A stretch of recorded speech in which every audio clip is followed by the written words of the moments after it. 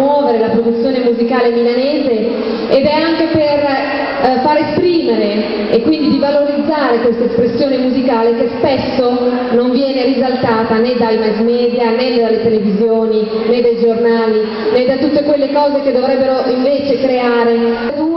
e quindi ci siamo tutti, possiamo elencarli, io chiedo un grande applauso per tutti quanti loro. Cominciando allora da Trapana Sottana, Linea, Citofonare Giusi, Smoking Guns, I Membri del Mondo, Joe Cool, Rance, Clamour, Powerhouse, Sexo, Dum Dum Hill, Wild